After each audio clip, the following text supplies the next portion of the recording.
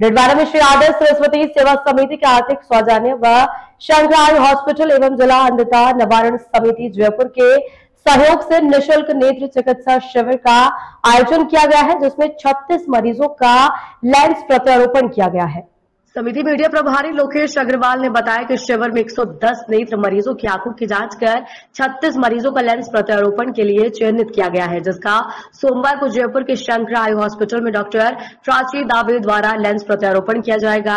समिति अध्यक्ष नितेश बाजारी ने बताया कि सभी मरीजों का आधुनिक तकनीक द्वारा बिना टाकी का ऑपरेशन किया जाएगा। रोगियों को चश्मा, भोजन एवं रहने की निःशुल्क व्यवस्था रहेगी। बाजारी में बताया गया कि समिति द्वारा 10 नवंबर रविवार को लगातार सत्ताईसवें निःशुल्क नेत्र चिकित्सा शिविर का आयोजन किया जाएगा उन्होंने बताया कि समिति द्वारा समय समय पर सामाजिक सरोकार के तहत अनेक कार्य किए जा रहे हैं।